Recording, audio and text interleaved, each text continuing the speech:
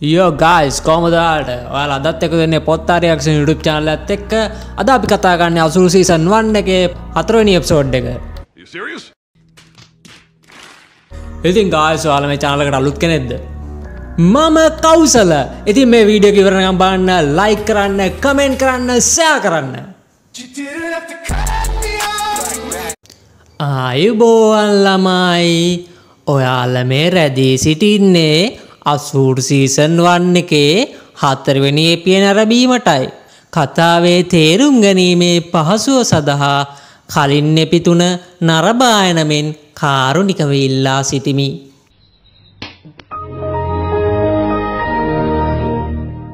ඔය අපිත් එක්ක මුලිද සම්බන්ධ වෙච්ච කෙනෙක් ඔයාලට මතක ඇති අපේ පළවෙනි එපිය පටන් ගන්න. මතකද ඒ පිය පටන් ගන්නේ වර්ණාසි නගරයේ සිදු කරපු පූජාවකින්. ඉතින් මේ එපියත් පටන් ගන්නේ පූජාවෙන්මයි. මෙතනදී තමකට බලාගන්න පුළුවන් වෙන්නේ මේ පූජාව කරන්නේ කාටද කියලා. ඉතින් මේ පූජාව සිදු කරලා තියෙන ඩොක්ටර් ධනංජයට. අපි මේ වෙනකොටත් දන්නවා මේ පූජාව සිදු කරන්නේ පූජකතුමා සහ පූජකතුමාගේ පුතා. දැන් පූජකතුමා පූජාව කරන ගමන් ඉන්නේ. මේ අතරතුරදී ඔහුට කැස්සක් ඇති වෙනවා. ඉතින් මෙතෙන්දි පෙන්නනවා පුතා තාත්තට වතුර කරන් දෙනවා. ඔයාලට සමහරක් විට මතකද අපි පළවෙනි එපියේදී කිව්වා. මේ සිදුවීමේදී පුතා තාත්තා දිහා අමුතු විදියට බලන් ඉන්නවා. ඒත් මේ එපියේදී මෙතනදී පෙන්නනවා මේ සිදුවීමේදී පුතා ඩියා ඩොක්ටර් ධනංජය අමුතු විදියට බලන් ඉන්නවා. ඒත් මේ වෙලාවෙදී නම් ඩොක්ටර් ධනංජය වැඩි ඒ ගැන හිතන්නේ නැහැ. ඉතින් ගායස් අපි පළවෙනි එපියේදී පෙන්වනවා පූජකතුමා මරණ විදිය. ඔහුගේ මරණය සිදුවන්නේ සීසුන්ව බෝට්ටුවෙන් වතුරට ඇඳ වැටෙමින්. ඉතින් මේ වෙනකොට බොඩි එක ගොඩට අරන් තියෙන්නේ. දැන් බොඩි එක වටා මිනිසුන් රැස් වෙනවා. ඉතින් මේ වෙන විටත් පොලිසිය බොඩි එක වටා රැස් වෙන මිනිසුන් අයින් කරන ගමනු ඉන්නේ. මෙතනදී ඩොක්ටර් ධනංජය දකිනවා ඔහුට පූජා කරපු පූජකතුමාගේ මරණය. ඔහු ඒක නිරීක්ෂණය කිරීම සඳහා එතෙන්ට යනවා. නමුත් පොලිසිය දන්නේ DJ කියන්නේ CBI ඔෆිසර් කෙනෙක් කියලා. පොලිසිය උත්සාහ කරනවා ඔහුවත් මෙතනින් ඉවත් කරන්න. DJ ඔහුගේ අයිඩිය එක පෙන්වන ගමන් මෙයා වස්ත්‍ර ශරීරගත වෙලා මැරලා තියෙන්නේ. ශරීරය මරණ පරීක්ෂණය සඳහා යවන්න කියනවා. ඒත් එක්කම DJ යනවා පූජකතුමාගේ පුතා ගාවට. මෙතනදී ඔහුට සිදුවෙච්ච දෙයට කනගාටුව ප්‍රකාශ කරනවා. මෙතනදී සුප් අමුතු දෙයක් කියනවා. මිනිසුන් එයාලා කරපු දේවල් වලට අනුව කර්මය පළ දෙනවා. ඔයා පූජාවට ගෙවලා තියෙන්නේ. හෙට ඊරපායන්න කලින් එන්න. මම ඔයාගේ පූජාව සම්පූර්ණ කරන්නම් කියලා එයා මෙතනින් පිට වෙනවා. ඉතින් ගායස් ඔයාලට මේක ගැන මොකද හිතෙන්නේ? ඔයාලට හිතන දේම තමයි DJටත් හිතෙන්නේ. එහෙනම් ගායස් අපි යමු වර්තමානෙට. මේනකොට අපි දන්නවා නුස්සාස්සයි ලෝලාක් ඇතුළු CBI ටීමේ පොලිසියත් සමග වලදාලා තිබුණු මිනි පෙට්ටිය ගොඩට අරගෙන පියන විවෘත කරනකොට වෙච්ච සිදුවීම. ඔයා තාම මේ එපිසෝඩ් එක බැලුවේ නැද්ද? හරි අපි මෙතන උඩින් කාඩ් එක දාන්න ඔයාලා ටක් ගාලා ගිහලා එපිසෝඩ් එක බලන්න. ඔයාලට මතකද මේ සිදුවීමේදී නිකිල් නායර් ලෝලාක් ඇතුළු කීප දෙනෙක් සිහිය නැතුව බිම ඇද වැටෙනවා. මේ වෙනකොට නිකිල්ට සිහියනකොට ඔහු ඉන්නේ කාමරයක. ඝාතකයාගේ මාස්ටර් ප්ලෑන් එක සිතටම වැඩ කරලා තියෙන්නේ. අපට මෙතේදී බලාගන්න පුළුවන් ඝාතකයා නිකිල්ල පැහැරගෙන හිර කරගෙන ඉන්නේ. දැන් මේනකොට CBI එකට හොඳ මොලකාරයෝ ටික නැති වෙලා ඉන්නේ. CBI එකට නිකිල්ල හොයාගන්න දැඩි පරිශ්‍රමයක් දරන්න යනවා. සසන්න අවස්ති CBI ප්‍රධානයා මෙතෙන්ට ඇවිල්ලා ඉන්නේ. නිකිල්ල පැහැරගෙන ගිහිල්ලා තියෙන කාර් එකෙන්. කාර් එක උමගක් යටින් ගියාට පස්සේ අතුරුදහන් වෙලා තියෙනවා. ඊට පස්සේ හම් වෙලා තියෙන එයාපෝට් එකක් ගාව නවත්තලා තියෙනවා. මෙතෙන්දී කියනවා කිසිම CCTV කැමරාවක එයාගේ මූණ අහුවෙලා නැහැ කියලා. මේත් එක්කම නිකිල්ගේ ෆෝන් එක ක්‍රියාත්මක වෙනවා. ඉතින් මෙතින්දි කවුරුත්ම උත්සාහ කරන්නේ නිකිල්ගේ ෆෝන් එක තියෙන තැන හොයාගන්න. මෙතින්දි නිකිල්ගේ ෆෝන් එක තියෙන තැන ලොකේෂන් එක හොයාගන්න බලනවා. නමුත් මෙතින්දි ඒ වැඩේ අසාර්ථක වෙනවා. ඉතින් මේ වෙනකොට නිකිල්ගේ වයිෆ් නේනා සහ දුව රියා ඉන්දියාවට ඇවිල්ලා ඉන්නේ. මේ අතර නිකිල්ට සීයනවා. එයා බානවා කොහෙද ඉන්නේ කියලා. එයාට තේරෙනවා එයාව හිර කරගෙන ඉන්නේ කියලා. මේ අතර නිකිල්ල හම්බෙන්න නේනා සහ එයාගේ දුව CBI එකට ඇවිල්ලා ඉන්නේ. ලෝලක්සා නුස්රාත් කතා කරනවා නිකිල්ගේ පැහැර ගැනීම කොහොමද නේනට පැහැදිලි කරන්න කියලා. මෙතේදී නුස්රාත් සයිඩ් නේනා ළඟට ගිහින් අමාරුවෙන් වෙච්ච සිදුවීම පැහැදිලි කරන්න උත්සාහ කරනවා. මෙතින්දි කියනවා නිකිල්ල පැහැරගෙන තියෙන CBIගේ ටීම් තුනක් යොදලා තියෙන නිකිල්ල හොයාගන්න මං ඔයාලට පොරොන්දු දෙනවා නිකිල්ල කොහොම හරි හොයලා දෙනවා කියලා මෙතෙන්දි නේනට කියනවා. මෙතෙන්දි නේන ටිකක් කලබල වෙලා මෙතනින් පිට වෙලා යනවා. හොඳයි එහෙනම් අපි මේ දැම්ම යමු නිකිල්ව හිර කරන් ඉන්න තැනට. මේ කාමරේ වටපිට ටිකක් බැලුවාම අපිට බලාගන්න පුළුවන් CCTV කැමර එකක්, TV එකක්, පොත් වගේක් සහ ලෑන්ඩ් ෆෝන් එකක්. මෙතෙන්දී නිකිල්ට තේරෙනවා කවුරු හරි එයා දිහා බලන් ඉන්නවා කියලා. මොකද CCTV කැමරයක් තියෙනවනේ. නිකිල් කෝල්ලක් ගන්න උත්සා කරනවා. මෙතින්දී ෆෝන් එක ආන්සර් කරන්නේ නිකිල්ල පැහැරගෙන ගියපු පුද්ගලයයි. ඔහු ෆෝන් එක ආන්සර් කරලා කියනවා ඔයා ඔය ෆෝන් එකේ මොන නම්බරයට ගත්තත් ආන්සර් කරන්නේ මම කියලා. ඒ කියන්නේ නිකිල් ෆෝන් එකෙන් මොනම්බරයට ගත්තත් ඒ කෝල් ඔක්කොම එන්නේ එයා පැහැරගත්තු කෙනාට හොඳ එනම් අපි දැන් යමු බන්ධනාකාරයට නිකිල්සා ඩීජ එකතු වෙලා කරු පරණ කේස් ඇතුළත් ෆයිල් ටිකක් අරගෙන ලෝලක් කෙනවා බන්ධනාකාරයට ඩීජේසවරු හම්බෙන්න මෙතේදි ඩීජෙස ලෝලාගෙන් අහනවා නිකිල්ලාව නැද්ද කියලා. මෙතේදී නිකිල්ට වෙච්චදේ කියනවා ඩීජෙසට ඔයා අපේ පරණ එප්සෝඩ් බැලුවනම් ඔයාට මතක ඇති ඩීජෙසර් කලින් ඉඳලම අනතුරු අගවලා තිබුණේ. මෙතැදි ලෝලාක් කියනවා කාටරි ඔයාල දෙන්නගෙන් පලිගන්න ඕනලා තියෙන්නේ. කියන ගමන් අරගෙනාව ෆයිල් ටික දෙනවා.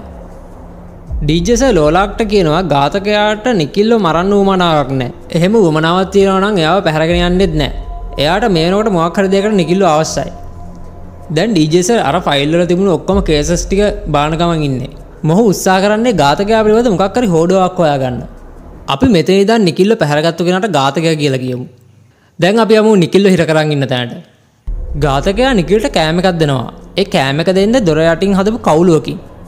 නිකල් කෑමක දිහා බාල වැඩිය ගැන හිතන්නතු ඉන්නවා. ගාතකයා ඒත් එක්කම ලෑන් ෆෝනයට කෝල්ලක් ගන්නවා. මෙතේදී නිකිල් ෆෝන්නේ කේබල්ල ගලවනවා.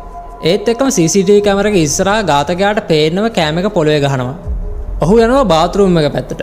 මොකද CCTV කැමරවට අහුවෙන්න එකම ස්ථානය එතන. ඉතින් මේ සියල්ලම දිහා ගාතකයා බලන් ඉන්නේ. මෙතේදී නිකිල් බාතරුම් එක බිත්තිය කණ්ඩාංගව ගැල්ලියන ගමන් ඉන්නේ. ඉතින් මෙතෙන්දි නිකිල්ගේ වයිෆ් නේනාසා දුව රියා බිත්තිය එල්ල තියෙන ටීව එකෙන් පෙන්න්නනවා මේ දේ කරන්න ගාතකයා නිකිල් බාතරුම් එකෙන් ටීව ගාවට එනවා. ඉති මේ සිද්ධියෙන් කියවෙන්නේ නිකිල්ගේ වයිෆ් නේනාසා දුව රියා පසුපස ගාතකයාගේ පුද්ගලයෙක් කැනවා ඉතින් මෙතෙන්ද නිකිල් ඉන්න තැන ඔයා හිටියෝතින් ඔයාට මොකක්ද දැනෙන්නේ? ඒ දේම තමයි නිකිල්ටත් දැනෙන්නේ.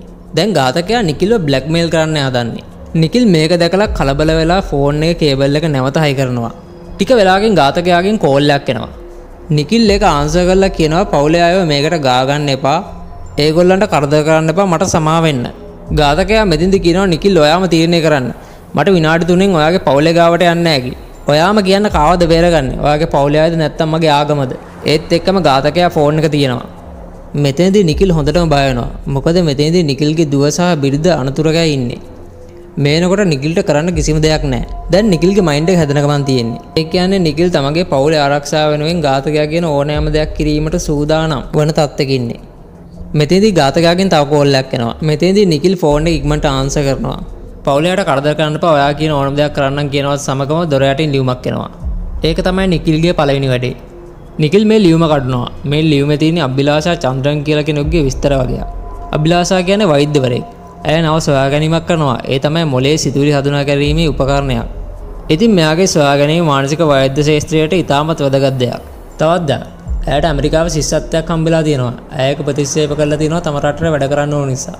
ඉතින් ඇය ඉතා හොඳ කෙනෙක්. මෙතේදී නිකිල්ට සිද්ධ වෙනවා තමන්ගේ පවුල බේරා ගැනීමට අභිලාෂ චන්ද්‍රන්ගේ මරණය සිදු කරන ආකාරය සැලසුම් කරන්න නිකිල්ට සිද්ධනවා අභිලාෂ චන්ද්‍රන්ගේ විස්තර දැනගන්න එයා යනේන තැන් එයාගේ මෙඩිකල් රිපෝට් පැත්ත ලෙඩ රෝගවට බේත් ගන්නවද විස්තර දැනගැනීම සඳහා ඝාතකයාට කෝල්ලයක් ගන්නවා මෙතේදී නිකීට දැනගන්න ලැබෙනවා අභිලාෂ දසස් සවිකර ගැනීම සඳහා තව දවස් කීපයක් ඇතුළත දන්තවෛද්‍යරයෙක් හම්බ වෙන යන බව. ඉතින් නිකිල් මේක අවස්ථාවක් කරගන්නවා. නිකිල් මෙතෙන්දි ප්ලෑන් එක හදනවා. ඒ ප්ලෑන් එක අනුව තමයි අභිලාෂාව මරන්නේ. දැන් ඝාතකය යනවා දන්තවෛද්‍යවරයා වැඩ කරන ස්ථානයට. එතන මේස උඩ තියෙනවා අභිලාෂාට සවිකරන්න තියෙන දත. ඝාතකයා මේ දත මාරු කරනවා. එයා ටයිටේනියම් දත වෙනුවට යකඩ දතක් එතනින් තියෙනවා. පහුවනදා දන්තවෛද්‍යවරයා මේ දත අභිලාෂට සවි කරනවා. වෛද්‍යවරයා සහ අභිලාෂා මේ සවිකරන දත පිළිබඳ කිසිම දෙයක් දන්නේ නැහැ. ඒ දෙන්න හිතන්නේ මේ සවිකරන දත ටයිටේනියම් කියලා. ප්ලෑන් එක අනුව ඊළඟට ඝාතක යන්නේ අභිලාෂාගේ දෙපාර්තමේන්තුවට. ඝාතකයා අතර ඉන්න දත්ත ගන්න කෙනා ගැට ගහලා දානවා. ඒ කියන්නේ දැන් දත්ත ගන්න තැන ඉන්නේ ඝාතකයා. අභිලාෂා චන්ද්‍රන් දත සවි කරගත්තට පස්සේ එයා එනවා දෙපාර්තමේන්තුවට. එතකොටත් ග්‍රාහකයා ඇවිත් නැහැ. මේනකොට අපි දන්න අභිලාස මේනකොටත් මොලේ සිතුවිලි හඳුනා ගැනීමේ උපකරණය හදලා තියෙන්නේ. ඒක තාම පරීක්ෂණ මට්ටමේ තියෙන්නේ. මෙතනදී ග්‍රාහකයා කියන්නේ දත්ත ගන්න ඉදිරිපත් වන කෙනා. අභිලාෂ දත්ත ගන්න කෙනාට කෝල්ලයක් ගන්නවා. මේන විට එතන ඉන්නේ ඝාතකයා. ඝාතකයා ඩොක්ටර් අභිලාෂට කියනවා ග්‍රාහකයාන තව පැය කාලක් පරක් වෙනවා කියලා. ඩොක්ටර් කියනවා එයා එනකම් මගේ කියවීම එතකන් රෙකෝඩ් කරන්න කියලා. මේ යන්ත්‍රය CT ස්කෑන් එකක්. ඩොක්ටර් මේ මැෂින් එකේ සංඛ්‍යාත සාමාන්‍ය තත්ත්වයකට හදනවා. දැන් ඔහු මැසින් එක ඇතුළට යන්නේ හදන්නේ. නිකිල් කියන විදිහටම ඝාතකයා මැසින් එකේ චුම්බක බලය වැඩි කරනවා. මැසින් එකේ චුම්බක තල්ලුව ගොඩක් ශක්තිමත් වෙනවා. ඒත් එක්කම ඩොක්ටර් දාලා තිබුණු යකඩ දත උණ්ඩයක් වගේ ක්‍රියාත්මක වෙලා ඇතුළේ ඉඳන් එළියට පසාරු කරගෙන යනවා. මේ වෙන විට නිකිල්ගේ ප්ලෑන් එක සාර්ථක වෙලා ඉවරයි. ගාතකයා නිකිල්ගෙන් තමයි අහන්නේ බොඩි එක දාන තැනක්. නිකිල් කියනවා හැම සාක්ෂියක්ම දියාරු වෙන තැනක්. දැන් ගාතකයා සිරුර ස්පීතාලෙන් එළියට ගන්නවා. මතක තියාගන්න මේ නිකිල්ගේ ප්ලෑන් එකක්. මිනිමරුම කරන්නේ ගාතකයා. නිකිල් මේ විදියට කරන්නේ තමන්ගේ පවුල ආරක්ෂා කරගන්න. දැන් ගාතකයා ලොකේෂන් එක යවන්න අලුත් කෙනෙක් හොයා ගන්නවා. ඩොක්ට අභිලාසාගේ බොඩිය එක තියෙන තැන ලොකේෂන් එකේ කණ්ඩාංග ටික එන්නේ ලෝලාක්ට. මේ වෙනට CB ඔෆිසර්ස්ලා පොලිසිය මේ ස්ථානට ඇවිත් ඉන්නේ. විලක් මැද කාර එකක් ගිනි ගන්නවා. නුස්රාත් බය ඉන්නේ කාර් එකේ ඉන්නේ නිකිල් කියලා. ඉතින් මේ වෙනකොට ලෝලාක් දන්නවා කාර් එකේ ඉන්නේ නිකිල් නෙමෙයි කියලා. මොකද බන්ධනාගාරයේදී වීජේ ලෝලාක්ට කිව්වා නිකිල්ව ඝාතකයාට අවශ්‍යයි කියලා.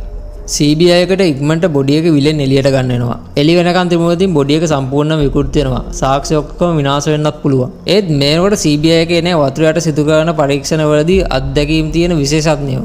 මේනකොට කිමුදුම්කරුව ඒ ස්ථානට යනවා බොඩිය ගන්න ක්‍රමයක් තියෙද කියලා බලන්න.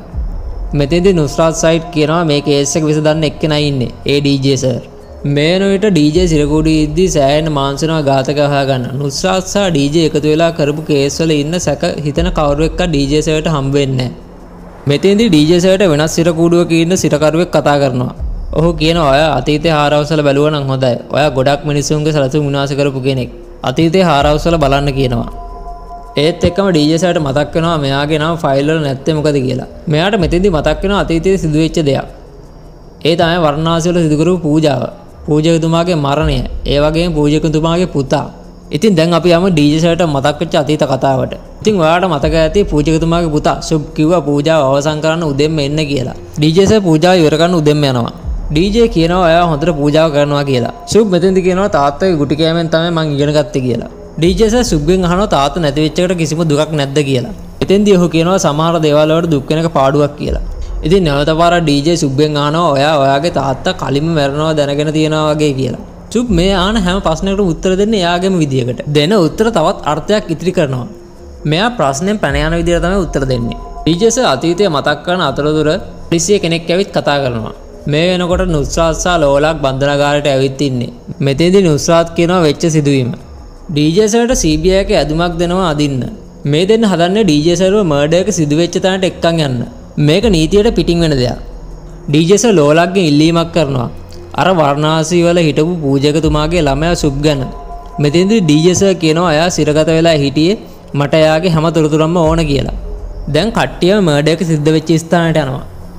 ඉතින් මේ වෙනකොටත් වතුරේ ගිහිලා තිබුණු වාහනේ රෑම ගොඩට ගන්නවා. ඩොක්ටර් අබිලාසාගේ බොඩි එක තමයි තියෙන්නේ. මෙතනදී බලාගන්න පුළුවන් දකුණු අතේ දබරැගිල්ල කපලා.